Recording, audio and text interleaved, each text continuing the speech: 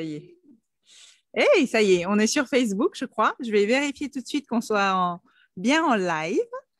Allez, je check sur mon téléphone. Et on est bien en live. Nickel, nickel. Bon, ben, bon, Bonsoir d'ailleurs. Bonsoir, bonsoir tout le monde. Bienvenue dans ce Summer Camp, le premier Summer Camp virtuel de la détox professionnelle. Euh, comme je l'ai dit auparavant, c'est vraiment une expérience qui se veut inédite pour se rebooster, pour retrouver sa joie, son énergie, euh, pour être retrouver aussi son bien-être dans sa vie professionnelle, pour enfin oser une vie professionnelle qui nous ressemble, un métier qui nous ressemble, la construire, la créer. Euh, je me présente, je m'appelle Corinne Wynne et je suis coach certifiée spécialiste de la reconversion de vie professionnelle, mais pas euh, autour des bilans, des tests de compétences. C'est vraiment pas du tout euh, ce que je fais. Je suis plus sur la reconnexion à soi, sur qui je suis, sur qui vous êtes vraiment. trouver son essence pour aller construire quelque chose, quelque chose de professionnel qui nous fasse vibrer. je suis aussi l'initiatrice de ce summer camp, de ce premier summer camp, et on est à la deuxième semaine. Et j'ai la chance d'être avec Christelle. Christelle qui va nous partager des pépites autour de l'EFT. Elle va nous en dire plus tout à l'heure. Je vais présenter Christelle en quelques mots et puis après, euh, et après, je te laisse la main, Christelle. Merci à toi en tout cas d'avoir accepté l'invitation. Euh, et j'ai hâte que tu nous partages et que tu nous expliques qu'est-ce que c'est que l'EFT. Donc, Christelle est, coach de vie aujourd'hui. Elle est psychopraticienne. Elle est aussi praticienne de l'EFT. Elle aide et elle accompagne les gens à se libérer de leur mal-être, des émotions un peu trop envahissantes, comme le stress, la peur, l'anxiété, des blocages, pour une vie finalement plus belle et se sentir libérée en paix dans tous les domaines de sa vie. Et aujourd'hui, ce qu'elle va nous présenter, Christelle, c'est euh, une masterclass autour de l'EFT pour une vie professionnelle plus épanouissante et plus sereine. Je te laisse la main, Christelle. Merci à toi. Déjà, je suis super contente d'être ici aussi avec vous. Mais je ne vois pas euh, justement vos. Je ne vois pas la, notification pour voir vos commentaires. Parce que effectivement, ce serait sympa que je puisse. Euh, j'aime bien faire des masterclass interactives. Donc, si vous avez des questions, ah, c'est bon. J'aurais envie de voir vos questions. Ouais, je vois qu'il y a des gens connectés. Il y en a pas mal et ça augmente. Mais euh, faites-nous un petit coucou, faites signe. Faites ah, signe, live, faites signe, mettez, euh, mettez des commentaires un petit comme quoi. Dites-nous d'où vous nous. Ah, si, c'est bon, je, je nous vois. Tu vois? Faites signe, ouais, pour qu'on soit sûr qu'on entende bien, que vous nous entendez bien. Yes. Sabina, bonsoir. Ça y est, c'est bon. Bonsoir à tous. Top. Parfait. Alors, je mets ça bien, mon petit setup. On va s'organiser. Alors, bonsoir à tous. Effectivement, n'hésitez pas à interagir dans le chat. C'est cool qu'on se connecte. Si vous avez des questions, n'hésitez pas à me les poser. Je suis là pour ça. Et donc, j'ai le plaisir ce soir de vous partager des, informations, de, de vous aider à prendre conscience de ce qui se cache derrière vos émotions, derrière vos stress, derrière vos blocages, vos mal-être, surtout au niveau professionnel, mais ça peut s'appliquer aussi dans d'autres domaines. Donc, euh, je vais vraiment, euh, on va aussi parler de blessures du passé, de mémoire. Est-ce que vous avez déjà un petit peu entendu parler des, blessures du passé, des mémoires cellulaires? Est-ce que c'est peut-être du charabia pour vous? Et est-ce que vous avez déjà entendu parler de l'EFT Dites-nous un petit peu dans le chat, histoire qu'on voit euh, les connaisseurs ou, ou pas. Et tout évoqué. Yes. Allez, oui, ça y est, j'ai des interactions. Il y a toujours un petit décalage entre Facebook et, ah le, Zoom, mais ça y est, il y a des petites interactions. Euh, il y a euh, Thérèse, Sabina, Florence qui sont là, Angélique qui est là aussi. Voilà, dites-nous si vous connaissez l'EFT, comme le partageait Christelle. Et, les euh, mémoires du passé, les blessures de l'âme, est-ce que vous avez déjà entendu parler de ça? Les... On va en tout cas en parler ce soir. Donc, avant de commencer, je vais rapidement euh, approfondir ma présentation, ma petite présentation personnelle, histoire que vous sachiez euh, à qui vous avez, euh, à qui vous faites face. C'est bizarre de dire ça, mais bref, voilà, vous m'avez compris. Donc, effectivement, bon, elle a dit le plus gros. Donc, j'accompagne les gens à se libérer de tout type de problématiques de vie grâce à des outils profonds, des outils qui agissent sur l'inconscient, qui agissent au niveau énergétique. Et euh, une de mes spécialités, c'est de les aider en travaillant sur leur traumatisme du passé, leurs blessures du passé, leur euh, mémoire, parce que souvent, vous allez bien comprendre à l'issue de cette masterclass, nos émotions, nos blocages, nos, euh, nos réactions indésirables, notre mal-être provient souvent d'événements du passé qui sont réactivés par les situations du présent. Et ah super, je vois vos commentaires. Je l'utilise à la maison et avec un professionnel. Génial, Laurence. Effectivement, c'est pas du tout la même utilisation. Le FT, on peut le faire sur soi, euh, surtout pour se libérer, par exemple, d'une. Par exemple, si vous stressez parce que vous avez une réunion le lendemain, vous pouvez faire de l'EFT sur vous. Si vous, euh, à la fin d'une journée, vous avez du mal à lâcher prise par rapport à ce qui s'est passé, vous pouvez aussi faire de l'EFT sur vous. Ça va vous permettre vraiment d'apaiser l'émotion euh, vraiment rapidement et euh, en profondeur. Mais c'est vrai que quand on le fait tout seul, ce n'est pas forcément des résultats durables. Souvent, souvent pas. Alors que quand on le fait en accompagnement ou qu'on a une technique spécifique, on peut vraiment aller travailler sur les choses en profondeur pour que ce soit plus durable. Donc, c'est génial que tu le fasses aussi avec un professionnel, Florence. Et du coup, effectivement, je suis donc professionnelle en, en EFT. Je suis formée à l'Institut français des psychothérapies émotionnelles et cognitives. Donc, c'est l'IFPEC pour les connaisseurs peut-être. Et euh, j'ai aussi, euh, je, suis allée aussi un peu à la fac de psycho, mais c'était trop théorique pour moi. Alors du coup, je me suis plutôt orientée vers des formations plus concrètes avec des outils vraiment pour se libérer, pour se transformer, se reprogrammer positivement. J'adore l'approche Lise Bourbeau aussi. je ne sais pas si vous connaissez un peu les cinq blessures de l'âme. Et il y a plein de, techniques aussi justement pour se libérer de ses stress, l'EFT, euh, le coaching effectivement. Donc voilà, pour ma petite présentation, et donc j'accompagne des gens euh, en visio, donc à travers euh, toute la France et aussi en atelier. Et d'ailleurs, justement, Sabrina nous dit Je suis Christelle, donc je connais au travers de ces présentations. Effectivement, si ça vous intéresse, je suis très active sur Instagram. Donc, mon Instagram, c'est christellejoy.coachingeft. Je mettrai le lien. Parfait. Je partage souvent dessus, donc euh, ça peut vous intéresser. Alors, on va commencer. Donc, ce que je vais vous partager aujourd'hui, euh, je vais d'abord vous partager des, choses sur les émotions pour que vous puissiez mieux comprendre les émotions et en quoi travailler sur ces émotions, c'est important. Les, conséquences, ce qui se passe quand on ne fait pas justement ces, exercices de régulation émotionnelle. Ensuite, on va, je vais vous partager par rapport à, euh, aux mémoires du passé, justement. Je vais aussi vous partager des, des pépites sur les résistances inconscientes, se libérer de ces résistances inconscientes. Et je vais aussi, je vais, vous gâter ce soir, hein, vous êtes prévenus, vous aider à vous partager un résumé de comment faire de l'EFT sur soi pour se libérer oh. justement, pour lâcher prise. Corinne est contente. Ouais, on est gâtés, j'adore. pour réussir justement à lâcher prise par rapport à vos émotions, vos blocages, etc. Donc, euh, donc voilà. Est-ce que vous êtes content Dites-nous un peu dans le chat si ce programme vous, euh, vous intéresse. Excellent.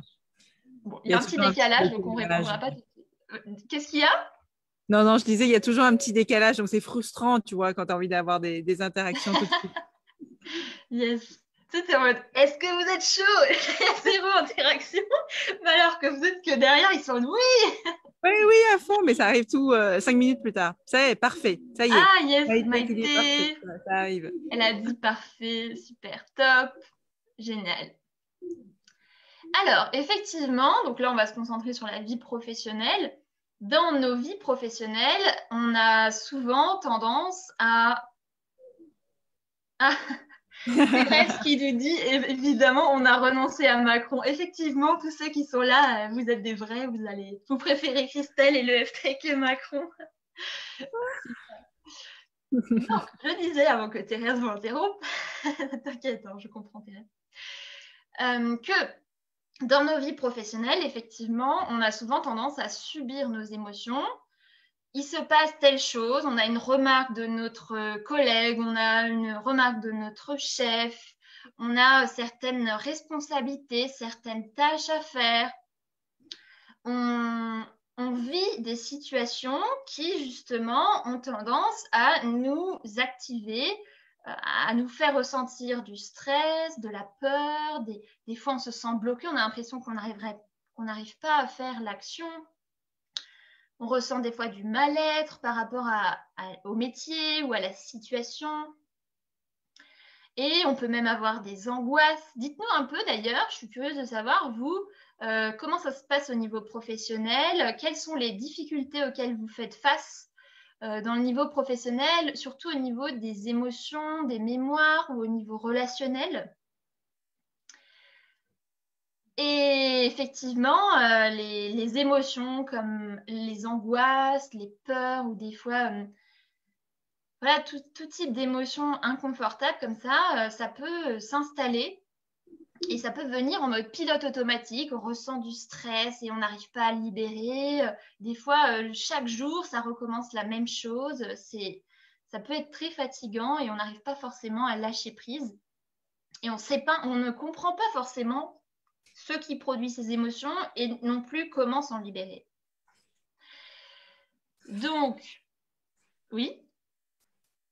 Ça parle carrément. En tout cas, moi, ça, ça me parle bien. J'ai euh, mmh. longtemps, euh, malheureusement, euh, ouais, j'ai longtemps ressenti ces émotions là, tu sais, qui, qui, arrivent comme ça à chaque fois, un peu comme une routine, mais une mauvaise routine, tu vois. Un pilote automatique, oui.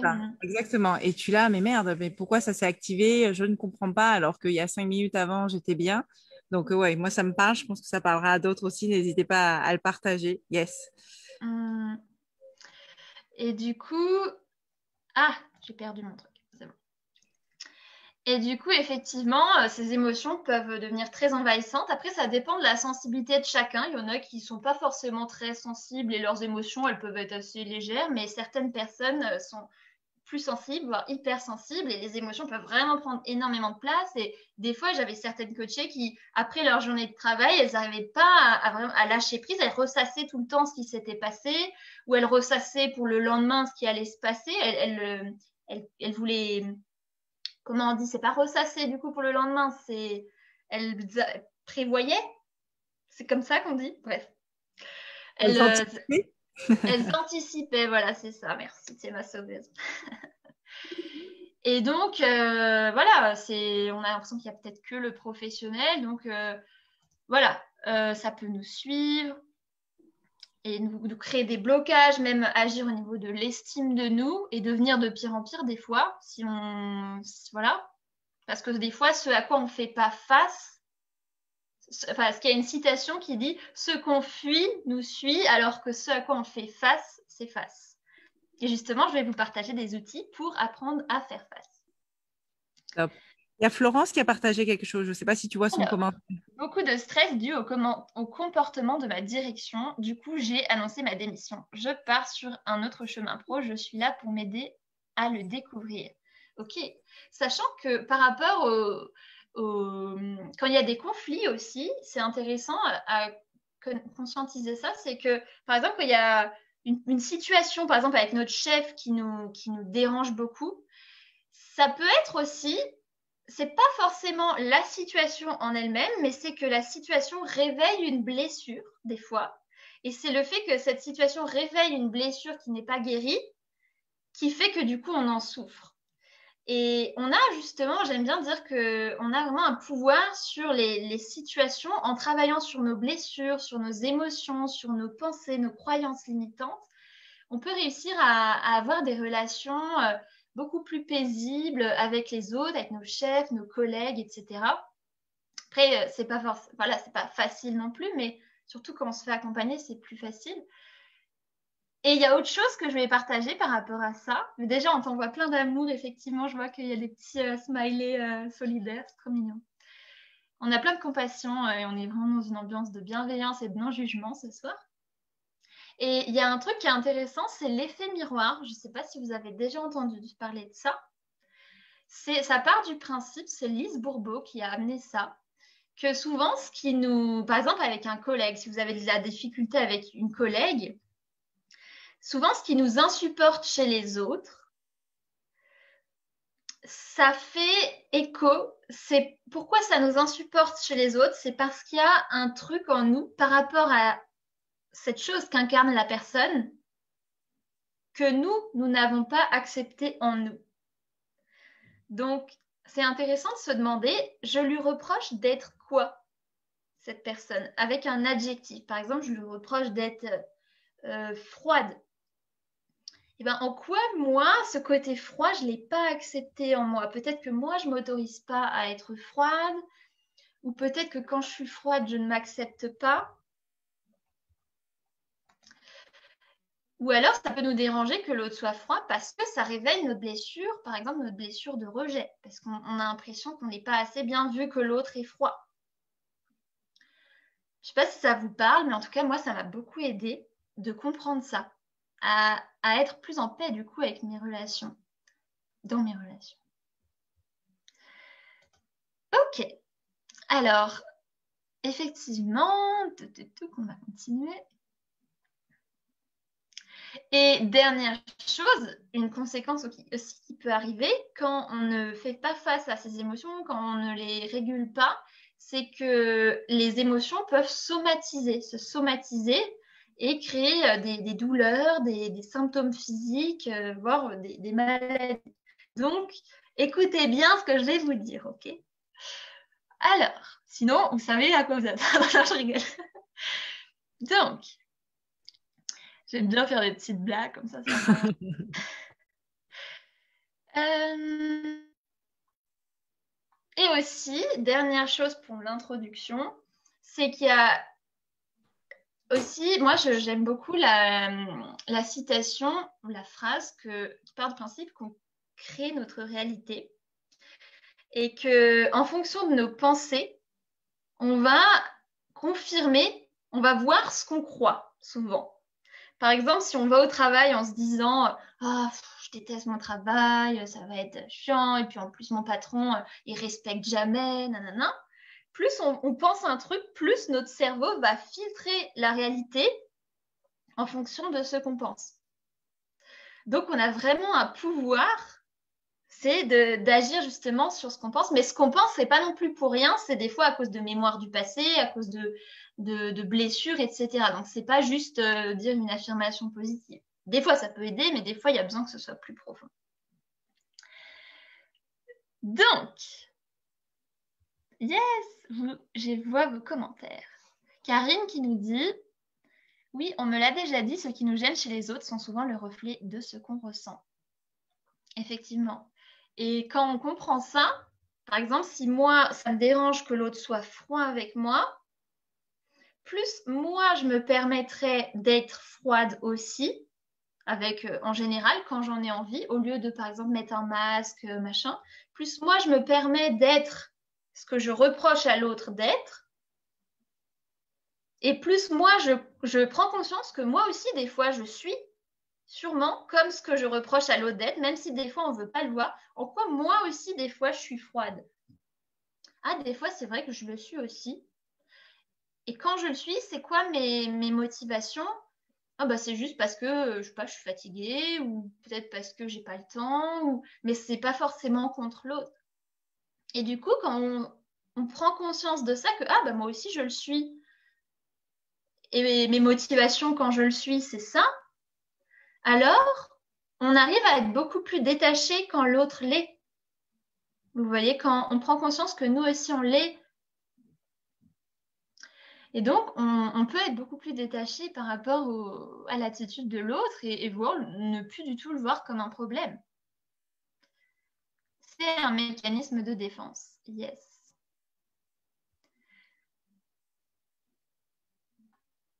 Et aussi, comme je l'ai dit avant, souvent quand les situations nous dérangent, c'est parce que c'est pas forcément la situation, mais c'est que par rapport à cette situation, par exemple, euh, mon collègue m'a dit ça, on pense que c'est par rapport à la situation qu'on ressent ces émotions.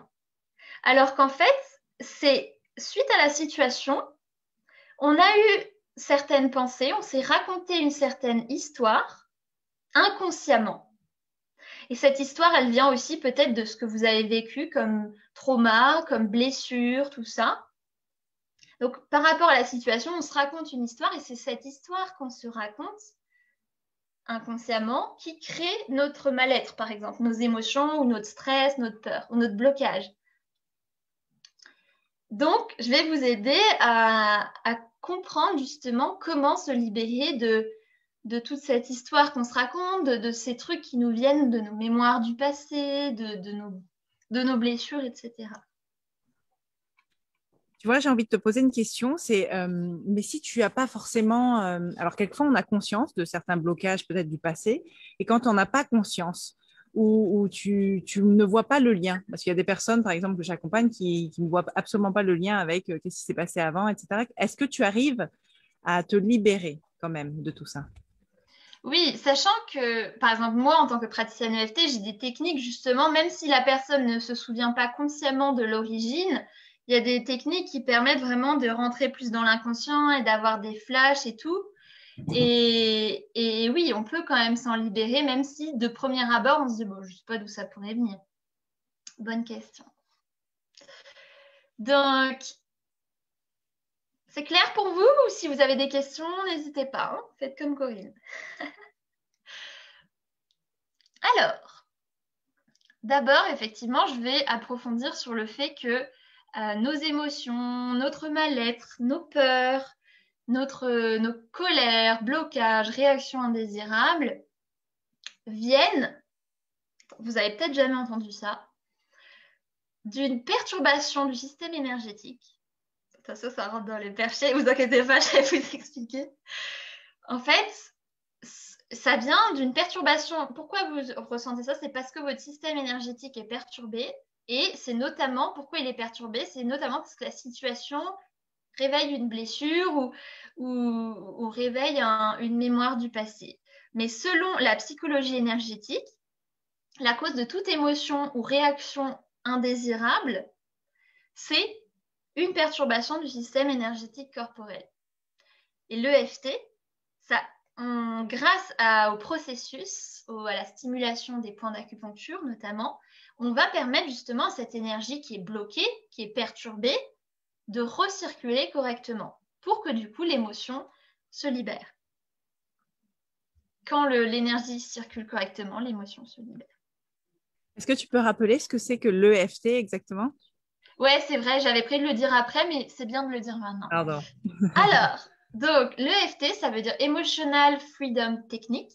Donc, c'est une technique pour se libérer de ces émotions envahissantes, mais aussi de plein de types de problématiques. Ça peut être euh, la dépendance affective, le, le manque de confiance, les blocages qu'on a au niveau relationnel, professionnel, euh, amoureux, familiaux. Euh, voilà, pour se libérer de plein de problématiques. Comment on va faire ça pour se libérer euh, rapidement et profondément de ces problématiques? C'est que il y a deux types de FT. Il y a celui qu'on fait sur le moment par rapport à une situation et celui qu'on fait pour agir sur la racine du problème, là où le, résultat est plus durable. Et du coup, je ne sais pas lequel j'explique, mais en gros, on se met face à la situation, donc soit la situation dans le présent qui nous stresse, par exemple, soit par rapport à l'origine de cette problématique dans le passé. Par exemple, j'avais euh, une coachée qui, euh, souvent, elle se sentait vraiment pas à la hauteur au travail. Et du coup, ça se manifestait par le fait que quand on lui demandait de, remplir des dossiers, de faire certaines missions, comme ça réactivait euh, une blessure dans le passé, d'être pas à la hauteur, eh ben, elle avait tendance à bloquer et, elle n'arrivait plus trop à réfléchir et elle prenait énormément de temps pour faire ses actions parce que ça réveillait une blessure du passé. Et ce qu'on a fait en séance, c'est qu'on est allé voir vraiment d'où ça venait Et euh, une des choses principales, c'est que notamment, elle n'avait pas eu son bac. Et quand elle avait annoncé à ses parents qu'elle n'avait pas eu son bac, il y avait eu de, fortes réactions. Et ça, c'était vraiment ancré en elle que, ah, comme j'ai pas eu mon bac, ou que j'ai eu deux à mon examen de français, ou je sais plus ce que c'était, comme j'ai eu deux et qu'en plus mes parents réagissent comme ça, ça veut dire que je suis pas à la hauteur. Et depuis ça, ça s'était engrammé en elle et ça la suivait euh, tout au cours de sa vie. Quand il y a des situations qui ressemblaient un peu à la situation du passé, et ben hop, il y a sa, sa, mémoire qui revenait et qui disait qu'elle se sentait pas à la hauteur et que par exemple elle bloquait ou elle se sentait euh, pas bien. Du coup, euh, le but de l'EFT, c'est d'aller vraiment se, concentrer sur la situation, l'émotion que ça procure, le problème. Et en même temps qu'on est connecté à ça et que dans notre amygdale, notre amygdale est activée, tous les blocages dans notre système corporel sont activés, on est vraiment connecté à l'émotion. En même temps qu'on est connecté au traumatisme ou à l'émotion, on va euh, faire, on va envoyer un signal de sécurité et de calme à l'amygdale, c'est la région du cerveau responsable des émotions, grâce à des stimulations sur des points d'acupuncture et en disant certaines phrases. Et le fait qu'on, en même temps qu'on soit activé, on stimule ces points et on dise ces phrases, ça va permettre de déprogrammer justement cette réaction de l'amygdale d'envoyer un signal que, en fait, par rapport à cette situation, c'est OK. On n'a pas à être activé. On est en sécurité. Voilà pour l'explication. C'est plus clair? Yes. Euh, j'ai envie de te poser une question. Tu vois, tu, tu, nous parles de euh, euh, aller chercher dans l'inconscient. Comment tu fais? C'est avec le FT aussi ou c'est avec d'autres techniques? Je vais vous partager euh, tout à l'heure des choses aussi là-dessus, mais notamment ce qu'on va voir, c'est ok cette problématique, par exemple, de ne pas être à la hauteur euh, au travail. Euh, depuis quand je l'ai déjà Depuis quand j'ai ce sentiment de ne pas être à la hauteur? Est-ce que c'est depuis le collège, le lycée, depuis mes premiers jobs? Qu'est-ce qui s'est passé dans mon passé qui aurait pu être à l'origine de ça, de ce blocage, de ces angoisses? Donc, soit ça c'est consciemment, si on se souvient. Et si on ne se souvient pas, en fait, euh, comment expliquer ça simplement? On va demander à la personne de se remettre dans une des dernières fois où elle a vécu, euh, par exemple, ce sentiment de ne pas être assez bien ou ce blocage, et de vraiment se connecter avec ses émotions, ses ressentis, ses pensées. Et à partir de ça, on va, on va faire un peu comme on va demander à son inconscient de, dis-moi une des toutes premières fois où tu as ressenti ça. On se connecte à la mémoire du corps. Peut-être que consciemment, on ne sait pas, mais quand on est détendu et qu'on est connecté aux sensations, souvent, il y a des, souvenirs qui viennent. Et j'aime dire que la problématique, c'est un peu comme une table. Et là, tout le monde se dit, en fait, la, problématique, c'est plutôt le dessus de table, le plateau. Et si ce plateau tient, par exemple, les crises d'angoisse ou les blocages, ou voilà, c'est parce qu'il y a des pieds. Et il y a des fois qu'un pied à la table, qu'un seul événement à l'origine de notre problématique. Des fois, il y en a deux, des fois, il y en a trois, etc. Et donc, les pieds, c'est des, traumatismes ou des, événements euh, qu'on a vécus qui, euh, qui ont ancré ça en nous, en fait, et, dans notre système énergétique. Et donc, le but en EFT, c'est d'aller enlever ces pieds de table pour que la table s'effondre. Alors, combien de séances est durée pour débloquer? Bah, L'EFT, c'est vraiment bien parce qu'il y a besoin de très peu de séances. Après, ça dépend des problématiques, ça dépend des gens. Mais déjà, en tout cas, mes séances à moi durent deux heures, donc euh, on va vraiment voir beaucoup de choses déjà en une séance. Et, voilà, donc ça dépend. Je ne peux, pas te dire, euh, peux pas te dire comme ça, ça dépend de la problématique, de la personne et tout. Mais par exemple, j'ai des gens qui se sont libérés de crises d'angoisse en une ou deux séances. Alors que les crises d'angoisse, elles les avaient depuis deux ans, voire même plus. Donc, ce que je disais, c'est que euh, parlons des mémoires du passé. Depuis notre conception, à notre naissance, par exemple à la maternelle, collège, lycée, premier job, euh, futur, nanana, des informations se sont enregistrées dans notre corps. Par exemple, il y a même des gens qui, euh, à leur naissance, n'ont pas été désirés, ou on leur a dit qu'ils étaient un accident, c'était des accidents. Ben, du coup, ça peut justement s'être ancré dans leurs cellules et toute leur vie, ils vont ressentir ce sentiment d'être nul, etc., à cause de ça qui s'est ancré en eux. Donc, énormément et, énormément de croyances, de, conditionnements, de comportements, de réactions indésirables, d'émotions proviennent justement de ces événements qui se sont ancrés en nous. Ces traumatismes, même si des fois, ce n'est pas des gros, gros traumas, des fois, c'est peut-être juste, par exemple, quand vous étiez en primaire et que votre maîtresse vous a dit oh, C'est trop moche ton dessin. Ça, ça peut euh, justement vous avoir ancré euh, une, mémoire de Je suis nulle. Et dès qu'il y aura une situation qui vous réveillera un peu ça, qui, par exemple, dès que vous vous sentirez jugé ou que vous aurez un travail à rendre, par exemple, vous aurez potentiellement peur si cette blessure, si ça a été vécu comme un trauma, ça va peut-être réactiver justement les mêmes émotions que ce que vous avez vécu à l'époque. C'est des réactions souvent disproportionnées de la situation. Des fois, il n'y a pas de quoi euh, avoir autant d'émotions, mais pourquoi on en a? C'est parce que ça révèle une blessure. Ou par exemple, les gens qui se sont fait tromper, euh, bah justement, par exemple, quand leur conjoint leur répond pas au bout de je sais pas combien de temps, eux, ça peut réveiller une blessure et du coup, ils peuvent se sentir très euh, jaloux, très en colère, blessés et tout. Et donc, le plus souvent, ces mémoires sont inconscientes, elles dirigent nos comportements, mais on ne sait même pas. Des fois, on pense même que notre personnalité est comme ça, alors qu'en fait, ce n'est pas notre personnalité, c'est juste qu'on est sous l'emprise de mémoires du passé à cause de choses qui n'ont pas été guéries.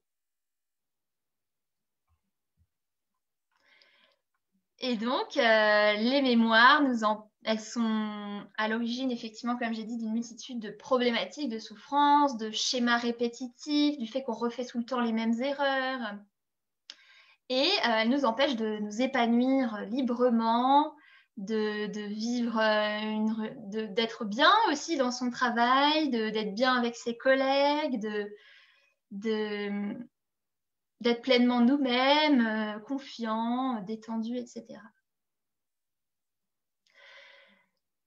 Et justement, l'EFT aide à se libérer de ces mémoires du passé. on est trop contents. Yes. Donc, l'EFT, tu voulais dire quelque chose comment, comment? Oui, forcément, je vais quand même, comment, comment? Yes, je vais vous dire ça tout à l'heure, mais euh, effectivement, donc l'EFT, ça aide à réguler euh, à, à, se libérer en fait de ces mémoires du passé, surtout quand on travaille sur les trucs à l'origine, les pieds de table, comme j'ai dit tout à l'heure. Donc, euh, pour se libérer en profondeur de tout ça, euh, des souvenirs enfouis, le FT, ça aide aussi à baisser l'hormone du stress, le cortisol, grâce à la stimulation des points d'acupuncture.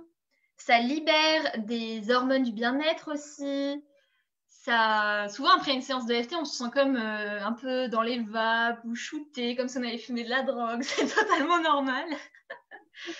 Donc voilà, si vous voulez de la drogue naturelle, bah, ça a l'air vachement bien. ouais, bah, ça se voit que je suis passionnée par ça, hein, parce que déjà les résultats que j'ai eu sur moi, mais mes coachés aussi, tous les, tout le temps, ils me partagent des, super résultats. Donc euh, je peux que être euh, hyper animée par ça. Et, Voilà.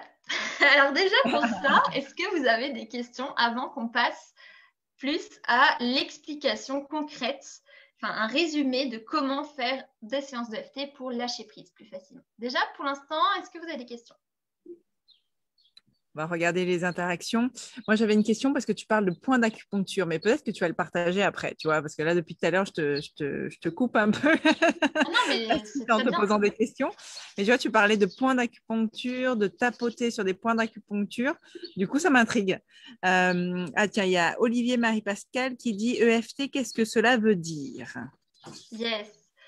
Alors déjà, pour répondre à ta question, euh, effectivement, j'ai oublié de préciser, on, tapote sur des points d'acupuncture, mais on ne, c'est pas des aiguilles. Donc, euh, on, a les mêmes bénéfices, même plus que l'acupuncture, parce qu'il y a vraiment ce côté psychologique et émotionnel et, d'aller face au trauma. Mais on tapote du coup avec euh, via les doigts. Tout à l'heure, je vais vous montrer justement les différents points. C'est des points comme ça sur le corps.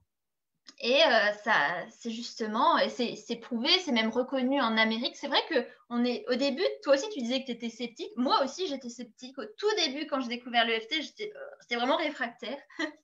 Donc je peux comprendre qu'on puisse trouver ça bizarre au début, mais quand on voit que ça marche, bah voilà. Donc effectivement, EFT, ça veut dire Emotional Freedom Technique. Ça veut dire en français technique de libération des émotions. C'est vraiment euh, la technique la plus enfin, selon moi, la plus efficace et rapide pour se libérer des trucs où il y a des émotions fortes, des, même les phobies, euh, les traumas. Voilà. Alors, est-ce que vous êtes prêts pour le, résumé de comment faire de l'EFT Oui. Oui, on est prêts. Oui, oui, oui, oui. Partagez, ne soyez pas timide, soyez bavard, au contraire. Plus vous interagissez, plus on a justement de, une masterclass de plus en plus enrichissante et toutes les techniques de Christelle. Oui, Thérèse, il dit oui. oui.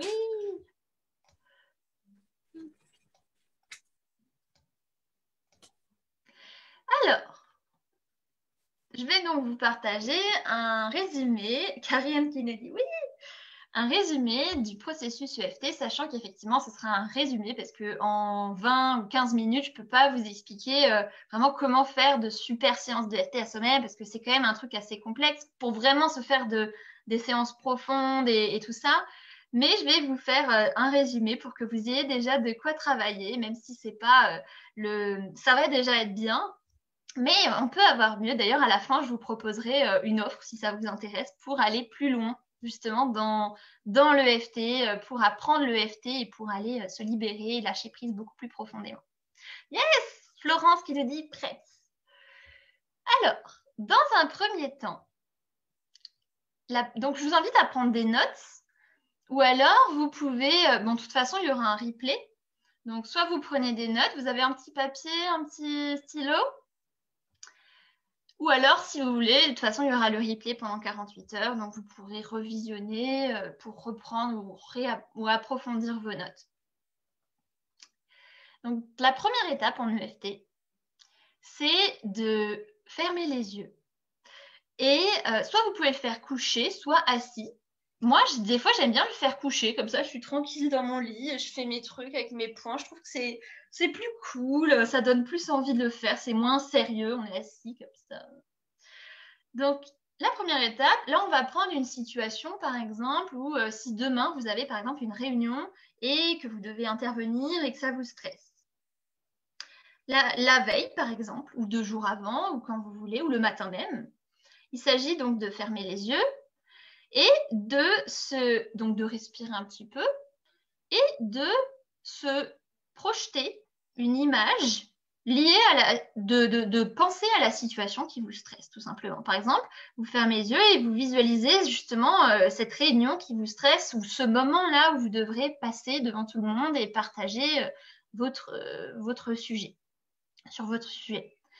Donc, vous vous mettez vraiment face à ça, vous essayez vraiment de, de voilà, de, d'être, j'arrive plus à parler, faut que je fasse de l'EFT, de vous mettre face à votre image, de vous visualiser même le scénario que vous appréhendez le plus, le moment que vous appréhendez le plus par rapport à ça. Est-ce que c'est plutôt au tout début de votre présentation ou pendant, quand vous voyez tous les regards sur vous, etc. Donc, vous visualisez cette image qui vous stresse là. Et plus vous arrivez à vous visualiser ça, prenez, du, prenez le temps que vous avez, dont vous avez besoin plus vous arriverez à vous visualiser ça et à ressentir les émotions, plus votre séance va être efficace. Donc, il s'agit de, voilà, vous prenez le temps qu'il vous faut et une fois que vous êtes face à cette image du pire moment que vous appréhendez, vous allez observer ce qui se passe dans votre corps. Quelles sont les sensations? Est-ce que vous avez une boule dans la gorge, une chaleur dans la tête un truc dans le ventre, observez vos sensations, euh, vos pensées éventuellement. Par exemple, ah, je vais jamais y arriver, ils vont me juger. Et euh, votre émotion principale. Donc, sensation, pensée, émotion. Ça, c'est vraiment la, méthode. Euh, il y en a qui disent c'est juste l'émotion, mais moi, j'aime bien quand c'est profond et quand c'est vraiment très complet. et donc, une fois que vous avez ça, sensation, pensée, émotion, donc les pensées qui vous procurent cet inconfort, hein, vous allez, vous pouvez l'écrire si vous voulez, surtout au début, mais ce n'est pas obligatoire. Vous allez évaluer à peu près sur une échelle de 0 à 10 à combien est votre émotion. Donc, vous êtes face à votre image. Par exemple, si l'émotion, c'est du stress par rapport à cette réunion, quand vous pensez à cette réunion, le stress, là maintenant, il est à combien de 0 à 10 0, ça veut dire pas du tout, et 10, c'est le maximum. Dites le premier chiffre qui vous vient. Donc, par exemple, ça va être 8. Dites-moi si vous voulez que j'aille un peu plus lentement, peut-être pour prendre des notes. Ou si vous êtes euh, super expert en prise de notes. A priori, ça a l'air d'aller. Comment tu sais? J'ai pas les réactions. J'ai pas, de, j'ai, pas de réaction. Normalement, j'ai les réactions assez rapidement, mais euh, je pense que c'est, OK. Je pense qu'on aurait eu des noms. Attends, j'ai pas fini d'écrire la phrase. Alors, donc, une fois que vous avez fait ça, attendez. Ah Non, ça va, merci. Parfait. Une fois que vous avez identifié, donc ça s'appelle la cible. Vous avez l'image, vous avez les ressentis, l'émotion, vous savez à combien elle est. Là, vous allez pouvoir faire après un travail de qualité parce que vous avez pris le temps vraiment de définir ça. Donc, une fois que vous avez cette cible, il y aura donc les points à stimuler. Donc, on commence par, donc c'est des points qui sont, c'est des points d'acupuncture qui sont situés à l'entrée et à la sortie de méridien et ils sont bilatéraux. Donc, soit par exemple pour ce point, vous pouvez soit stimuler sur la main droite, soit sur la main gauche. Donc, moi, je viens stimuler là. Ça, c'est le premier point. Il aide à préparer le terrain, en gros. Et donc, sur ce point, la phrase à dire, c'est, bon là, je vous fais vraiment en résumé, hein, c'est même si euh, quand je pense à cette réunion, euh, je, ça me stresse, je ressens du stress à, 8 sur 10 et je ressens ces sensations dans mon ventre, euh, cette boule dans ma gorge et que je me dis que je vais jamais y arriver, je m'accepte profondément et complètement comme je suis. Et plus vous serez activé dans l'émotion quand vous le dites, n'hésitez pas à vraiment vous mettre à fond, à exagérer, parce qu'en EFT, on fait face à la boue. En fait, c'est comme s'il y avait un vase, exactement, le point karaté. C'est comme si vous aviez un vase et il y a de la boue dedans. Et ben, pour au lieu de juste rajouter de l'eau dans ce vase, c'est-à-dire du positif, il faut d'abord vider la boue, sinon ça va être un petit peu dégueu, non? Et bien justement, il va falloir faire face à votre émotion et pour vider la boue avant de pouvoir éventuellement mettre du positif. Mais c'est même pas obligatoire de mettre du positif. Une fois que le vase, est vidé de la boue, ça va. Donc au début, c'est un peu inconfortable parce qu'il faut vraiment faire face à l'inconfort. Mais plus on fait ce à quoi on fait face s'efface, ce qu'on fuit nous suit, n'est-ce pas? Donc, il y aura le point karaté en disant cette phrase euh, trois fois. Ensuite, vous pouvez le faire en même temps que moi. Bon, de toute façon, je ne vous vois pas, mais comme ça, vous, vous voyez un peu. Voilà, c'est ici sur le tranchant de la main. Du coup, j'avais une question. Est-ce que le point doit être hyper précis? Parce que souvent, quand on parle de point d'acupuncture, c'est vraiment au millimètre près. Et dans le, au niveau de l'EFT, comment ça fonctionne? Super question. C'est vrai que euh, c'est intéressant. En fait, euh, effectivement, il n'y a pas besoin d'être super précis parce que quand je stimule là, et peut-être si c'est là, ça envoie de toute façon des vibrations dans toute la zone. Comme je stimule, tu vois, ça, ça envoie des, des, signaux, dans, des vibrations dans toute la zone. Donc, il n'y a pas besoin d'être hyper précis. Même si, par exemple, je stimule là alors que c'est là, ça ne change pas. OK. Donc, euh, donc ça, c'est le premier point. Je vous invite vraiment à le faire en même temps que vous, parce que même si on ne fait pas le processus avec les phrases, avec euh, l'image, ça peut quand même vous libérer un petit peu d'émotions euh, positives, parce que c'est quand même des points d'acupuncture. Donc, le premier, c'est ici, en disant la phrase de préparation trois fois. Ensuite, moi, il y a une façon de faire de l'EFT que j'aime beaucoup, surtout quand on le fait seul chez soi, c'est l'EFT en quatre étapes. Parce que l'EFT classique dirait qu'il faut se concentrer que sur le négatif, et c'est ce que je faisais au début pour vider la boue vraiment. Mais euh, quand on le fait tout seul, c'est vrai que c'est pas forcément le plus. Euh, déjà, c'est long et moi, je préfère les quatre étapes. Vous allez les découvrir juste après. Donc, je vais vous montrer un peu les points. Le second point, il est au-dessus de la tête, comme ceci. Vous tapotez, euh, voilà, vous faites comme un petit serre-tête et vous tapotez ici au-dessus avec une main ou l'autre. Voilà, très bien. Ensuite, l'autre point, il est à l'entrée des sourcils, ici. Donc, vous pouvez soit tapoter avec les deux doigts, soit juste avec un, comme vous voulez.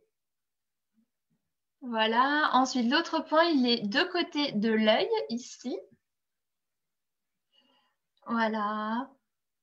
Vous le faites en même temps, j'espère. Ensuite, sous l'œil, donc c'est au niveau de l'os. Voilà, et vous respirez à votre rythme. Vous ne faites pas d'appel. c'est vraiment au niveau de l'os ici, hein, c'est ça? Ouais, c'est pas dans le sur dans la dans le creux, c'est ouais, sur l'os. Ceux qui vont prendre la masterclass en plein milieu, euh, ils vont dire mais qu'est-ce qui se passe?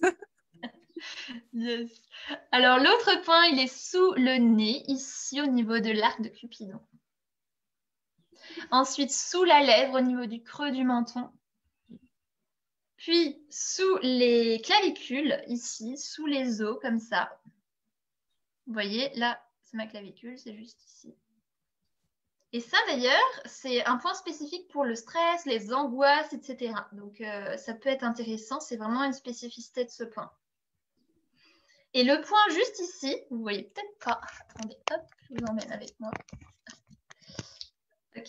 Le point, attendez, aussi ici, donc pour les femmes, c'est en dessous du soutien-gorge. Pour les hommes, c'est à peu près euh, un doigt en dessous du téton, un, grand doigt en dessous du téton au niveau des côtes. Donc, ce point-ci, c'est le point de la colère. Donc, quand vous êtes en colère, vous pouvez aussi juste stimuler ce point-ci en vous concentrant sur la personne qui vous met en colère, vous la visualisez, vous pouvez dire Ah, elle me saoule parce que nanana. Et euh, ça aide beaucoup euh, à libérer la colère en particulier. Et le dernier point du corps, c'est sous l'aisselle au niveau du bandeau de soutien-gorge. Voilà, très bien. Ensuite, il y en a sur les mains, mais là, je ne vais pas vous les dire parce que ça va faire trop. Et voilà. Mais sur le corps, ça, suffit. C'est juste sur les mains, c'est un bonus. Donc, là, vous connaissez les points de FT sur le corps. Et le but, en fait, c'est de faire des rondes. On appelle ça une ronde, c'est-à-dire un enchaînement de points. On fait ça, hein, et à chaque point, on dit une phrase. Et la phrase, ça nous permet de rester connecté à la problématique c'est pas le plus important de trouver les mots parfaits. Le but de ces phrases, c'est de nous aider à rester connectés à la problématique. Parce que plus on sera connecté, plus ça va pouvoir déprogrammer euh, ce truc émotionnellement. Quand tu dis connecté à la problématique, c'est on revient toujours à la même chose, c'est-à-dire émotion, sensation et pensée, hein, c'est ça? Ça, par rapport à l'image. Donc, euh, de préférence, vous pouvez le faire en, en ayant l'image, soit en fermant les yeux pour voir l'image, soit en ayant l'image en tête, etc. Mhm. Donc, euh, ouais, prenez des notes et, ce serait bien éventuellement que vous ayez des, vous fassiez des fiches si vous voulez au début, parce qu'au début, on ne on, connaît pas trop. Sachant que euh, si ça vous intéresse, à la fin, je vais vous partager un pack EFT que je propose, qui est vraiment un tout petit prix. Et dedans, il y a vraiment euh, une vidéo sur comment faire avec des PDF et tout. ça pourrait vous intéresser, avec des trucs plus profonds encore. Donc, donc voilà, vous savez les points. Maintenant, quelles sont les quatre étapes? Qu'est-ce qu'on dit comme phrase sur ces points? Donc déjà, effectivement, la première phrase qu'on dit, c'est même si nanana, je m'aime et je m'accepte profondément comme je suis, ou je suis en train d'apprendre à m'aimer et à m'accepter, ou je m'accepte profondément comme je suis. Alors, je peux redire la phrase, laquelle? Celle-là, bah, je viens de la dire du coup. C'est ça, hein, je pense, ce dont il parlait. Ça, doit être ça, ouais je suis télépathe. c'est le FT qui fait cet effet-là. Vous allez être télépathe Donc, ça, effectivement, c'est la première phrase. Ensuite, donc la première étape de l'EFT, quand on stimule ces points, c'est de se concentrer effectivement sur le négatif. Donc, sur l'image, sur l'émotion. Ne vous éparpillez pas sur différentes émotions. Pour l'instant, restez concentré sur l'émotion que vous avez définie au début. Par exemple, le stress. L'émotion, les sensations et les pensées. Donc, par exemple, ça donne, euh, même si nanana, je m'accepte profondément, euh, ah, euh, je stresse par rapport à cette réunion. Ça me stresse, ça me stresse. Vous pouvez répéter différentes, plusieurs fois les mêmes phrases. ils vont tous me regarder, ils vont me juger, je vais pas être assez bien, je ressens une boule dans la gorge quand j'y pense, et vous le ressentez en même temps. Et même quand vous dites ça me stresse, vous ressentez le stress Rappelez-vous que toutes les pensées que vous dites, c'est pas pour les ancrer en vous. On pourrait croire ça des fois, mais plus quand vous le dites et qu'en même temps vous tapotez les points, ça va justement les permettre de les libérer de plus en plus. Donc n'hésitez pas à trouver des phrases qui, vous activent dans votre émotion. Donc euh, ouais, euh, cette, réunion, ça me stresse parce que euh, nanana, je ressens cette, cette boule dans ma gorge, etc. donc, je vous invite à faire au moins deux rondes comme ça, au moins, voire trois, sur le négatif, pour vider la boue.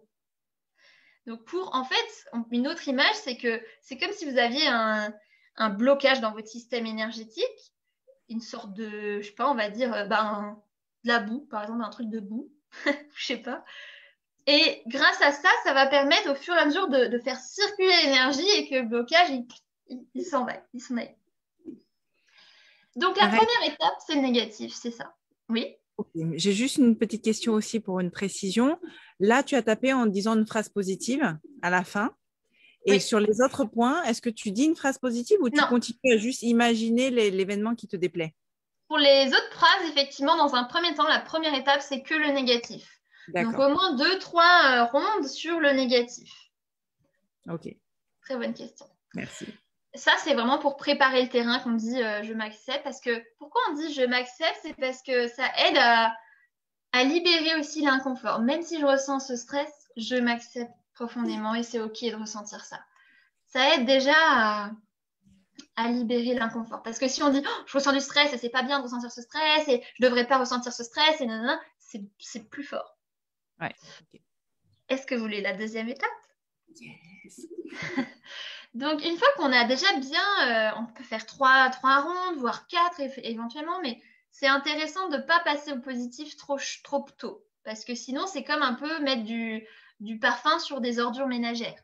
C'est-à-dire que ça ne va pas traiter vraiment le problème. Ça va être très, très euh, courte durée, quoi, la solution. Donc, la deuxième étape, une fois que vous avez dit des trucs sur le négatif, c'est de dire des infos plutôt sur les justement l'acceptation, c'est-à-dire c'est compréhensible que je me sens stressée parce qu'il y aura quand même euh, dix collègues qui vont me regarder parler. C'est compréhensible que je me sens stressée parce que bah, c'est quand même une, une, prise de parole en public et voilà. C'est compréhensible que je ressente ça parce que dans le passé, on s'est moqué de moi quand je faisais nanana. Voilà, trouver des phrases qui vous permettent d'avoir plus justement d'acceptation de cette émotion. C'est compréhensible que je stresse parce que voilà, il y a beaucoup de gens quand même qui stressent euh, pendant les réunions. Parce que plus vous acceptez, plus étrangement, ça va euh, se libérer. Plus vous donnez le droit de ressentir ce stress, parce que bah, c'est bien normal de ressentir ce stress, parce qu'il euh, y aura quand même plein de gens en face de moi et j'ai pas souvent fait ça peut-être. Donc ça, vous pouvez faire à peu près une ronde là-dessus. Et la troisième étape, c'est, je vous laisse peut-être un peu le temps d'écrire. On va voir. J'ai l'impression qu'il y a des personnes qui sont euh, très rapides au niveau prise de notes.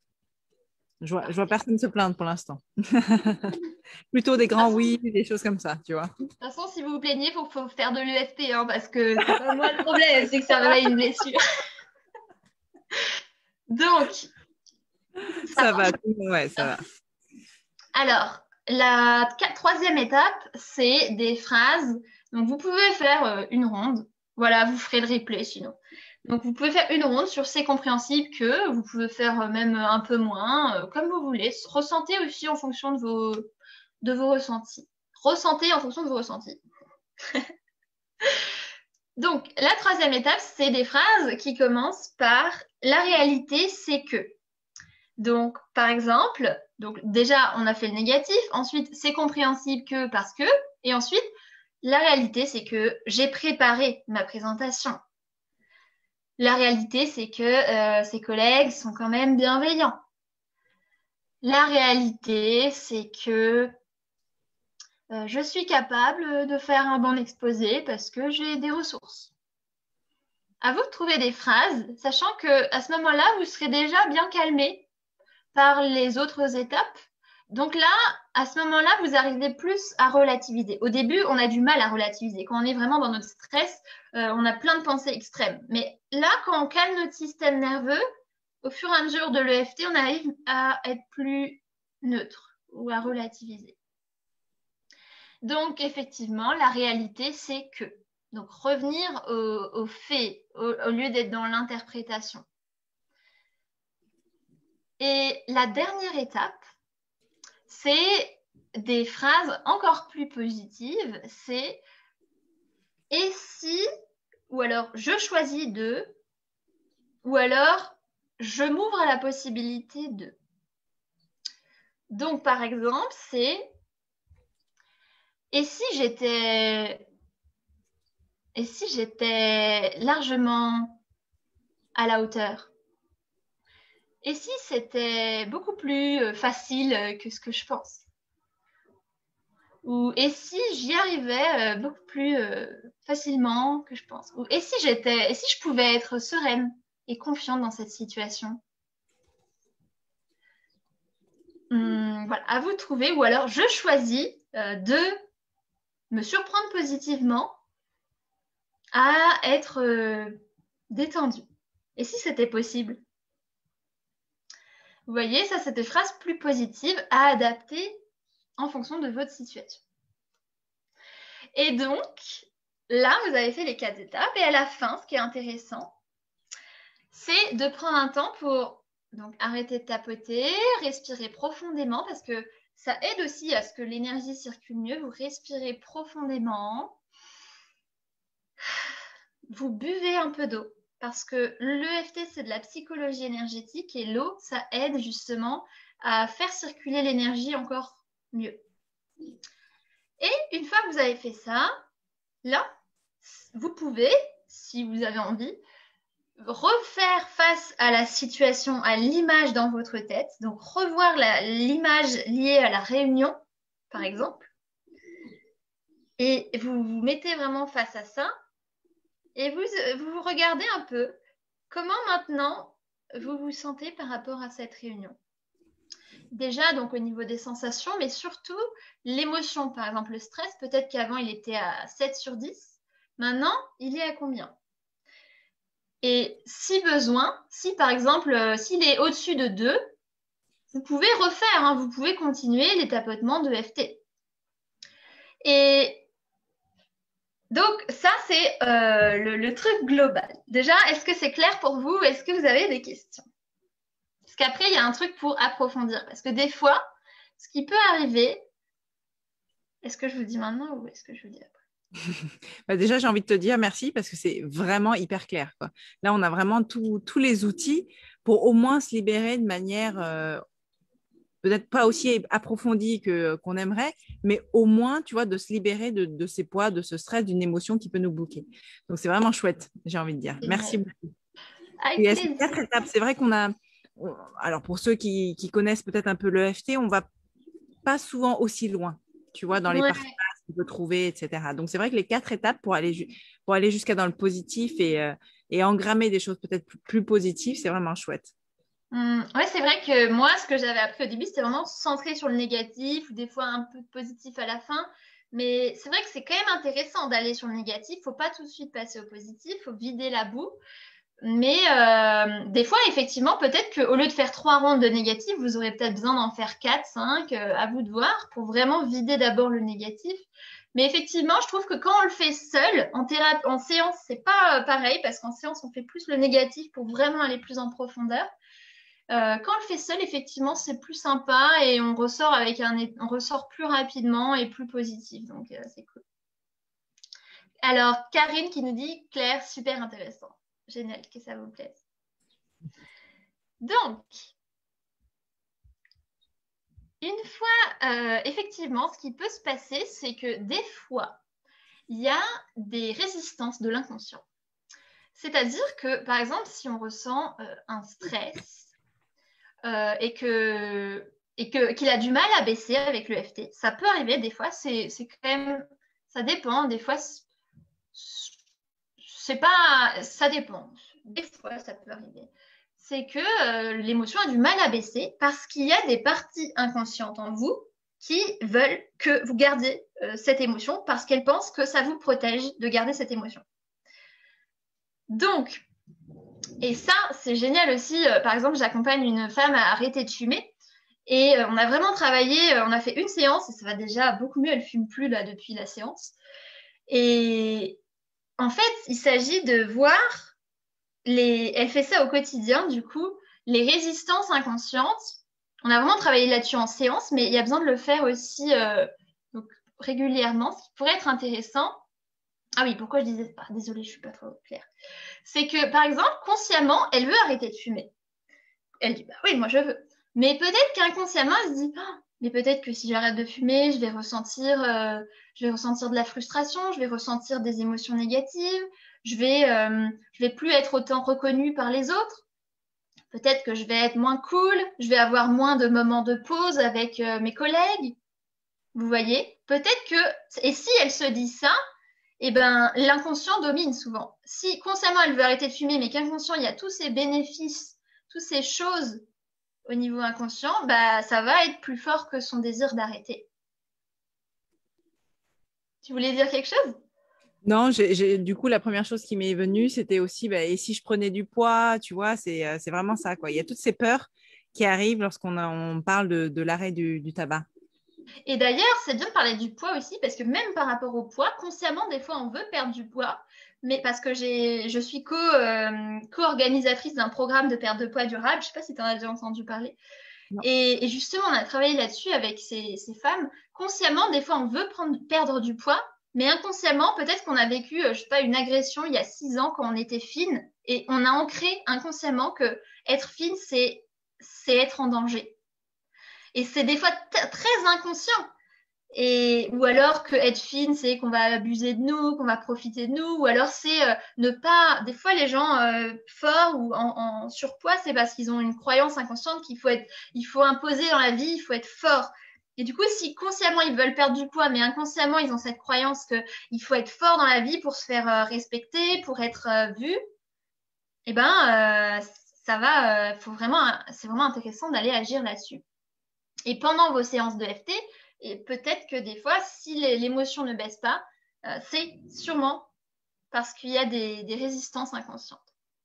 Même par rapport aux trucs comme le stress, par exemple, j'ai accompagné une coachée qui, euh, elle voulait se libérer de son stress, mais justement, la question à se poser pour aller voir ces résistances inconscientes, c'est en quoi ça m'arrange de garder ce problème? En quoi ça m'arrange de garder ce stress, par exemple? Et au début, on se dit, bah non, ça m'arrange pas. Mais prenez le temps de, noter, d'y réfléchir. En quoi ça m'arrange de garder ce blocage? En quoi ça m'arrange de garder euh, ces compulsions alimentaires?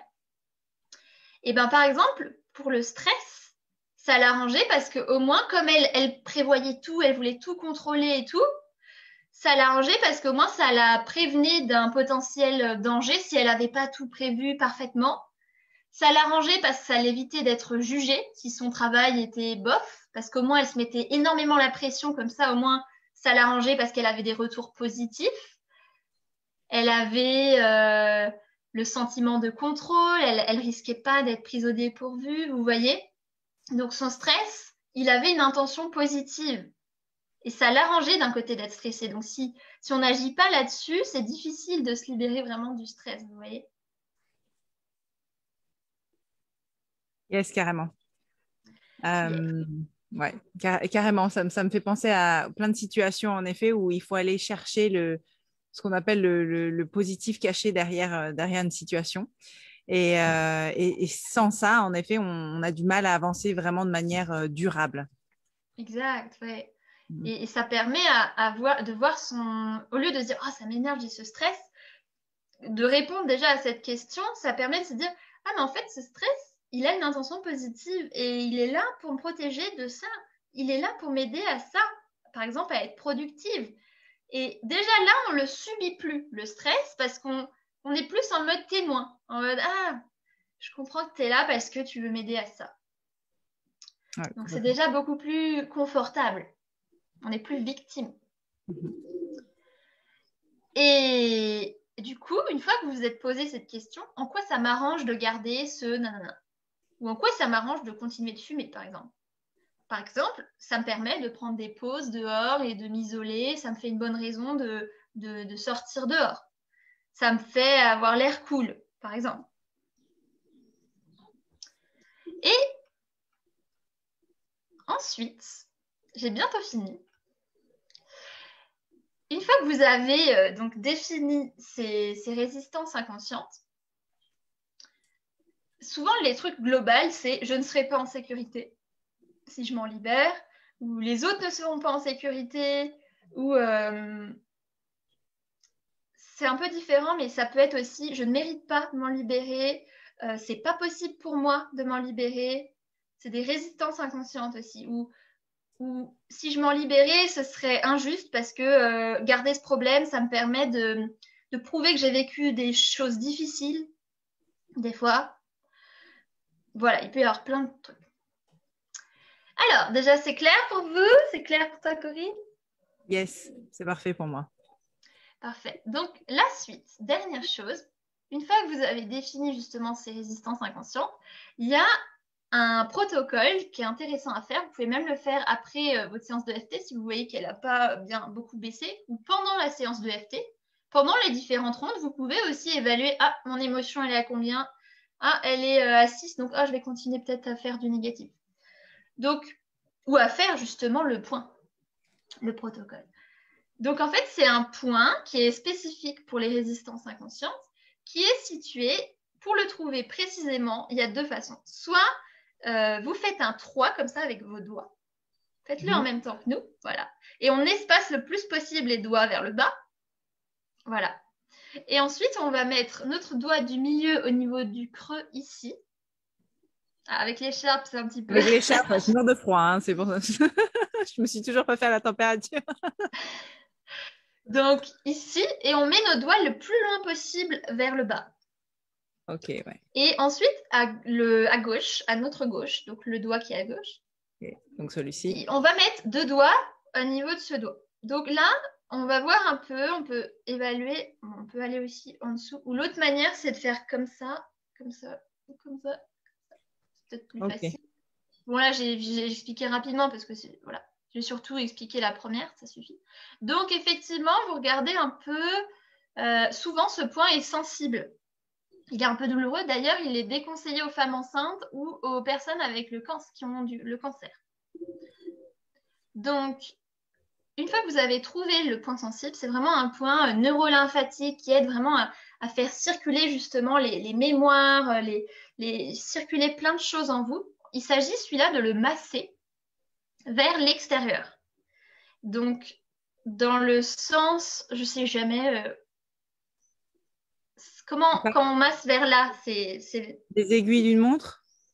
En tout cas, c'est vers l'extérieur. Donc, tu vois, je suis comme ça, donc je le mets vers là pour pendant une semaine pour vraiment euh, détruire cette croyance limitante, cette, euh, cette problématique. Donc, la phrase à dire, c'est je vais choisir un exemple. Par exemple, les compulsions alimentaires, on va dire même si des parties inconscientes en moi ne veulent pas que je me libère de ces compulsions alimentaires,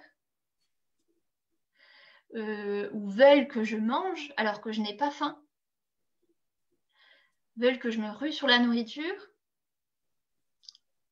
parce qu'elles pensent que, et là on dit ce qu'on a dit avant, que si je ne mangeais pas, euh, je ressentirais des émotions inconfortables, ou parce qu'elle pense que j'ai besoin de manger pour me sentir bien, parce que euh, elle pense que ça fait partie de moi de manger même quand je n'ai pas faim, parce que euh, voilà, vous dites des raisons que vous avez trouvées. Je m'accepte totalement et complètement comme je suis.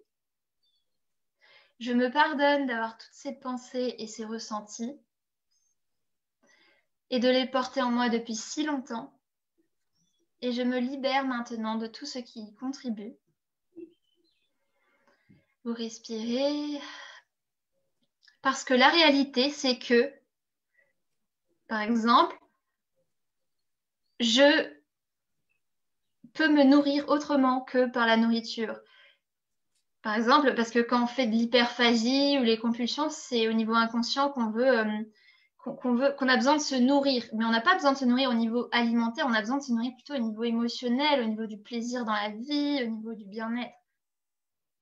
Donc, par exemple, la réalité, c'est que euh, je peux me nourrir autrement. La réalité, c'est que j'ai plein de choses euh, positives dans ma vie actuellement qui me nourrissent. La réalité, c'est que j'ai vraiment envie de prendre soin de mon alimentation la réalité, c'est que je suis en sécurité si je me libère de ces compulsions. Donc là, je l'ai dit pour... Donc ça, ça suffit. Et c'est à dire trois fois. Donc là, je l'ai fait pour les compulsions, mais ça, vous pouvez le faire par rapport au stress. Par exemple, même si des parties inconscientes ne veulent pas que je me libère de ce stress parce qu'elles pensent que ce stress me protège et que si j'avais pas ce stress, euh, je serais pas assez bien et que je me ferais juger et que je risquerais de, vivre un échec et de, faire face à une situation très difficile. Je m'accepte profondément, nanana, je me libère de tout ce qui y contribue. la réalité, c'est que je suis en sécurité à me libérer de ce stress. La réalité, c'est que je suis assez bien, que euh, je. Non, non, non. À vous de rassurer justement cette. Comme si vous rassuriez la partie en vous, justement, la, la partie inconsciente qui pense que vous avez besoin de ce problème. Excellent. J'adore. Et ça, c'est super puissant. C'est surtout, donc, si vous le faites trois fois et sur une semaine, ça, ça, ça, libère vraiment soit le faire comme ça, soit le faire pendant une séance pour mhm. vraiment vous aider à apaiser l'émotion. Parce que si vous faites juste de l'EFT sur ce stress, mais que ce stress, par exemple, il pense que non, mais elle a besoin de ce stress pour nanana, ben l'EFT, ça va pas forcément énormément, enfin, ça va baisser, mais pas autant que ça pourrait baisser. Alors que si vous faites ça dans votre séance de FT, eh ben, ça va beaucoup plus baisser. Et ça, c'est bien dans l'idéal de le faire juste avant euh, de faire une ronde après quand vous faites l'EFT. Hein. Mais mhm. sinon, quand vous le faites tout seul, vous n'avez pas besoin de faire de l'EFT, vous pouvez juste faire ça. Mais quand vous faites votre séance de FT, la ronde d'après va être plus efficace grâce à ça.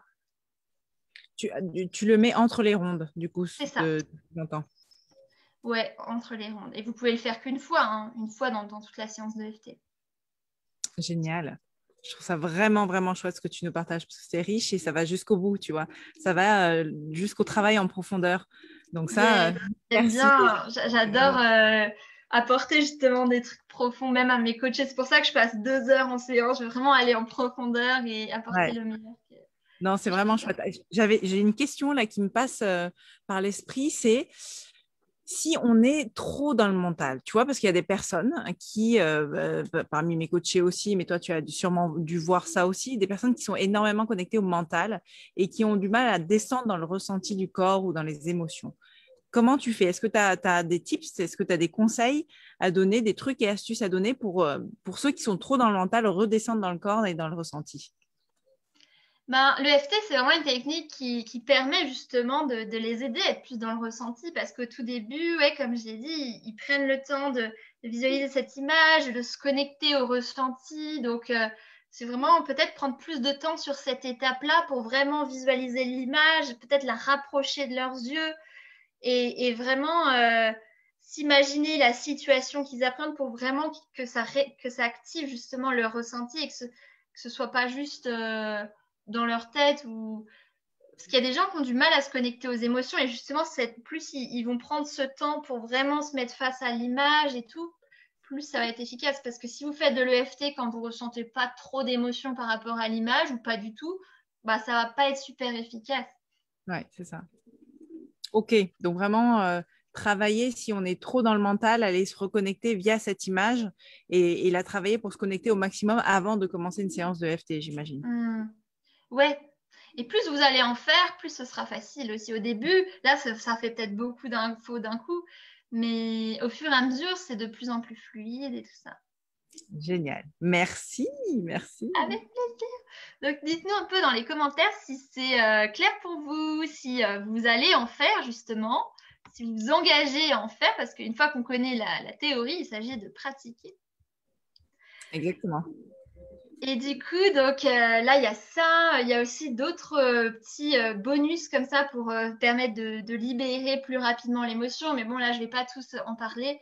Par... Je ne sais plus parler.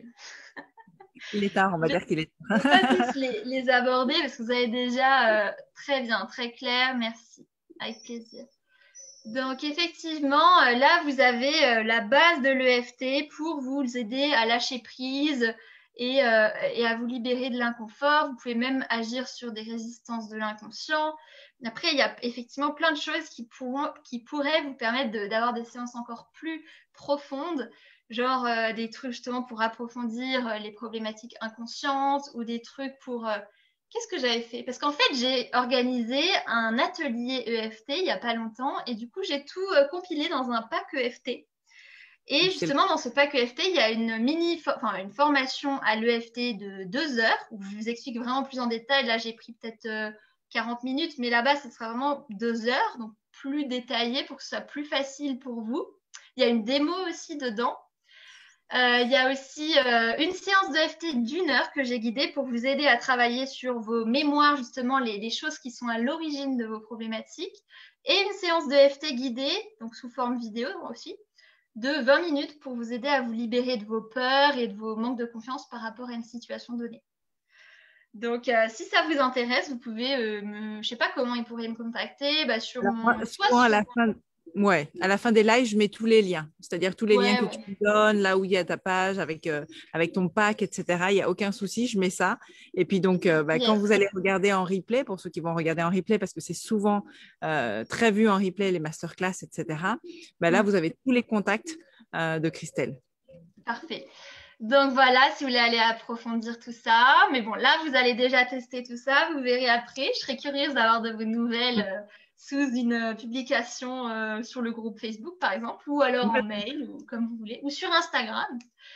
Et, aussi, après, c'est vrai que c'est bien ce genre de truc, mais pour les situations, ne vous aventurez pas sur des trucs non plus trop gros euh, ou des traumatismes trop gros ou des fois par rapport à certaines problématiques, ça, ça peut être difficile de le faire tout seul. Et donc, pour ça, vous pouvez aussi, si besoin, faire appel à moi en, individuel pour vraiment avoir du personnalisé, que je vous aide à voir les choses et, et à aller plus en profondeur et avoir des résultats plus rapides. Excellent. Bah, déjà, mille merci. Il y a Florence qui t'a fait un retour. Je te laisse euh, découvrir. Ah, trop mignonne. Un grand merci. J'ai beaucoup appris encore. Votre approche est vraiment complète. Je vais dorénavant m'appliquer à la vôtre. Génial. Ah oui, parce que Florence, tu, tu connaissais du coup le FT, c'est ça, mais euh, c'était moins complet, c'est ça? Et bien, souvent, on me dit ça, euh, c'est, ça me fait plaisir et c'est aussi grâce à mon école parce que je suis formée à l'IFPEC et là-bas, ils ont une approche de l'EFT qui est plus, qui est plus profonde que les autres écoles. Donc, euh, c'est grâce, euh, le mérite va aussi à l'IFPEC. oui, moi de même. Avec plaisir, ça me fait, c'est cool. Maintenant, à appliquer. Exactement. Quand on a des outils comme ça, a, j'ai, euh, partagé un questionnaire il y a peu justement sur la première semaine, du summer camp. Et la dernière phrase, c'est promettez-nous nous, tous les experts, promettez-nous d'appliquer ce qu'on vous a partagé, quoi. Parce que ce serait tellement dommage d'avoir toutes ces belles pépites, tous ces beaux outils sans le pratiquer, sans, euh, sans l'expérimenter, sans le mettre à notre disposition pour nous, quoi. Donc, c'est. Euh, plus vous pratiquez, puis ça va être simple. Et ouais, je vous invite à faire des fiches. Ou alors, si vous prenez le pack, vous aurez déjà les, fiches et les supports, mais plus euh, parce qu'au début, peut-être, ouais, pour vraiment que ce soit clair, vous avez les étapes. Et, et ça va, j'ai hâte que vous testiez. Bon, bah, trop bien. Karine qui te dit aussi belle découverte. bah, tu vois, tu as, tu as fait des, des émules. Il y a quelqu'un qui nous partage passionnant. Je vais même chercher un thérapeute vers chez moi. Mais après, euh, Christelle et peut le faire en ligne. c'est vrai que c'est intéressant. Euh, en fait, en ligne, il y a tout autant de bénéfices qu'en présentiel. Il y a tout autant de, libération. Et de toute façon, c'est la personne, je ne sais pas si je l'ai dit, mais c'est la personne qui, même en séance euh, avec un thérapeute, c'est la personne qui stimule elle-même sur ses, sur ses points d'acupuncture. Mm. Donc, euh, et ce qui est bien avec cette technique, c'est que, par exemple, si vous le faites en étant accompagné par un thérapeute, ça vous laisse, ça vous autonomise aussi entre les séances. Vous avez par exemple le point stimulé, vous pouvez vous faire vos propres séances, vous avancerez moins profondément qu'avec le thérapeute, mais quand même, c'est super par rapport, euh, je sais pas, à l'hypnose. Vous avez vraiment un, outil que vous pouvez appliquer euh, au quotidien comme vous, vous connaissez bien. Chouette. Et puis, tu vois, j'appuie sur le point que, euh, sur le fait que, euh, justement, en distanciel, c'est pareil, tout, au moins pareil, voire euh, quelquefois mieux, justement, dans les libérations émotionnelles. Parce que mmh. quand tu es face à un écran, tu es, alors c'est bizarre de dire ça, hein, mais quand tu es face à un écran, il y a à la fois un lien entre la personne avec qui tu parles, mais cette barrière psychologique de euh, bon, euh, c'est pas grave, au pire, elle n'est pas juste à côté de moi, donc je peux me lâcher. En tout cas, c'est ce que je constate, euh, c'est ce que je, ah, même moi, tu vois, j'arrive pas à parler. c'est ce que je constate lors de mes accompagnements. C'est-à-dire, j'ai beaucoup de personnes au début étaient réticentes en disant ouais mais je préfère quelqu'un sur place et tout. Et reviennent vers moi en disant bah, en fait euh, le feeling est tellement bien passé lors de la première séance lors d'une masterclass que que finalement bah, j'ai envie de le faire et, les résultats sont un minimum pareil voire mieux en tout cas sur, euh, sur le, relationnel et la libération de la personne par rapport à, son accompagnant. Donc euh, je veux vraiment aller contacter Christelle si c'est si vous avez senti que c'était c'était elle qui vous parlait le plus quoi. Et moi aussi, moi, je me fais accompagner aussi par des thérapeutes EFT en ligne, justement, parce que effectivement, je me sens plus à l'aise. En plus, je suis dans le confort de chez moi. J'ai mon verre d'eau, mon fauteuil. Euh, je suis tranquille, j'ai pas besoin de, me déplacer. Et effectivement, oui, j'ai l'impression qu'à la fois on est proche et du coup, il n'y a pas, euh, je sais pas, des fois un malaise au début euh, quand on ne connaît pas la personne en face. Ouais, je trouve qu'il y a une proximité. ouais, c'est Mm. Et en plus, ce qui est bien avec les séances en, avec les séances en ligne, c'est qu'on peut l'enregistrer si vous voulez. C'est ça. Mm. Non, mais c'est chouette. En tout cas, mille merci. Merci de ton temps parce que tu as été généreuse en informations, en outils, en techniques, parce que là, avec ce que tu nous as donné, on peut vraiment aller en profondeur et ça, j'adore. Dans tous mes accompagnements, c'est aussi la profondeur, aller creuser plus loin et pas rester en surface pour que justement tout se libère. Donc, ça me parle énormément. Merci beaucoup de ce que tu as partagé. Merci de ton temps aussi, parce que je vois que tu n'as pas compté non plus. et puis, ah merci à toutes les personnes qui, euh, qui étaient là et encore merci à ceux qui vont regarder en replay. Et n'hésitez pas vraiment à, poser vos questions à Christelle. Tu, es dans le groupe, donc tu répondras à, toutes les questions qui sont posées en replay si besoin. Et puis moi, je mettrai toutes tes coordonnées comme d'habitude, comme, euh, comme ce que je fais avec les autres experts, pour mmh. où vous pouvez retrouver Christelle sur Insta, sur un site avec son offre, etc. etc. Ou par mail. Mon adresse est christellejoycoaching.com, tout simplement. Ou alors, alors, parfait. Donc, euh, pour moi aussi, c'était un plaisir. Effectivement, là, vous avez de la matière. Euh, vous avez été gâtés ce soir, mais j'étais contente de vous partager tout ça. J'ai hâte que vous appliquiez, que vous voyez, euh, que vous constatiez par vous-même les libérations. Et à tous ceux qui regardent le replay, on vous envoie aussi plein de belles pensées.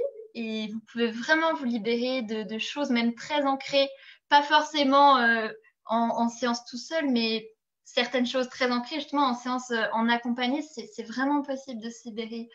Et, euh, beaucoup plus rapide, très rapidement, c'est possible grâce à l'EFT. Complètement. Bon, en tout cas, merci à toi.